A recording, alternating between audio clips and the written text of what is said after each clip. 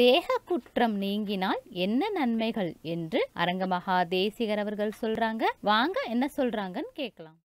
அது மாதிரி நம்ம அன்பு செலுத்த செலுத்த நம்முடைய நமக்கு வஞ்சிக்கக்கூடிய நச்சு தேகத்தை நீக்கிவிட்டு சுத்த தேகத்தை உருவாக்குவான்.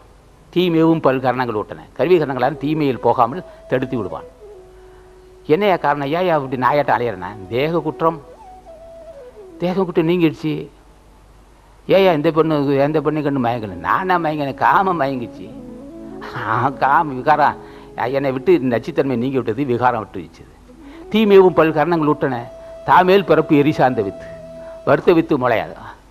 இங்கே அவித்த வித்து முளையாதான் தாண்டவுக்கணே பக்தி அற்றவருக்கு அதேடையார் தாண்டவுக்கணும் அது மாதிரி வறுத்து போன வித்து விது விதையை வறுத்துட்டா முளைக்காது. வெயிலில் மூணு நாள் நூறு நாள் போட்டு சித்திரமாசி வெயிலில் போடலாம்.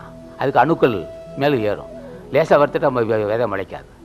அப்போ மூலக்கடல் தோண்டிட்டு மூலக்கடல் தோண்டினால் அங்கே பிறவற்று போகும். மூலக்கடல் இன்னொரு விஷயத்துக்கு தோன்ற முடியுமா? அது இப்போ நீ பிராணம் செஞ்சால் அதை ஒத்துருமா நாம பிராணம் செய்தால் என்ன ஆகணும்? யோகாபயம் செய்தா? சாக துணிந்து விட்டான் என்று பொருள்படும்.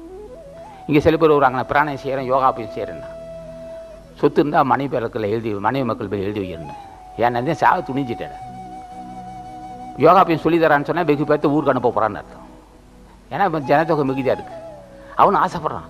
எப்படியாவது யோகம் செய்து பிராணாயம் செய்து சித்தி பெற நினைக்கிறேன் அடிப்படை வேணும் ஐயா. என்ன புண்ணியம் செய்திருக்கிறாய் பிராணாயம் செய்திருக்கு?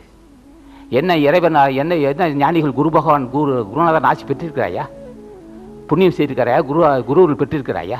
நீ பிராணம் செய்திருக்கு. இரண்டும் பெறாமல் பிராணம் செய்தார்னா இவைக்கு விரைவில் சாக போகிறாய்.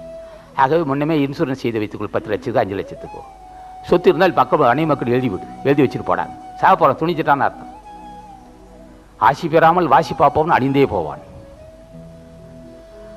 ஆக அடிப்படை ஆசி தான் முக்கியம் அதுக்கு.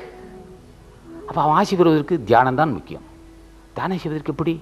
ஒரு வெந்நீர் துணையில் விரித்து காலை ஐந்து மணிக்கு இருந்து காலை கடையில் முடித்து விட்டு காலையில் ஒரு நீரால் குளித்து விட்டு வெந்நீர் துணையில் ரகசியமாக ஒரு தீபம் வைத்து ஒரு பத்தி வைத்து வைத்து அகத்தீஸ்வரா நந்தீசா திருமல தேவா கரூர் தேவா ராமலிங்க சாமியிலே மாணிக்க வாசகா நீங்களாம் பெரியவங்க ஐயா அடியனை ஏற்று அருள் செய்யணும்ப்பா என்னை ஏற்று அருள் செய்யணும் கேட்டியா? எத்தனை நாமத்தை கூப்பிட்ட? எத்தனை ஆண்டுகள் பூஜை செஞ்சிருக்க?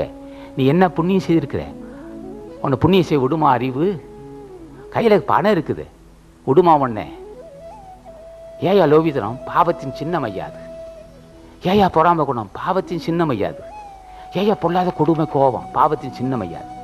ஏயா வந்து யான் என்ற கர்வம் மட்டும் பாவத்தின் முதிர்ச்சி யான் என்று கர்வம்.